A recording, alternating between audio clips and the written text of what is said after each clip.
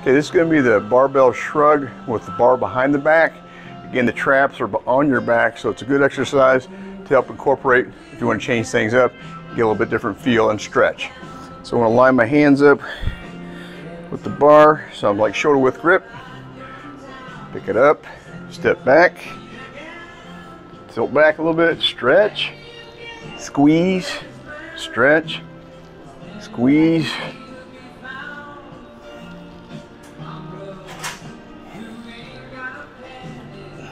barbell shrug behind the back.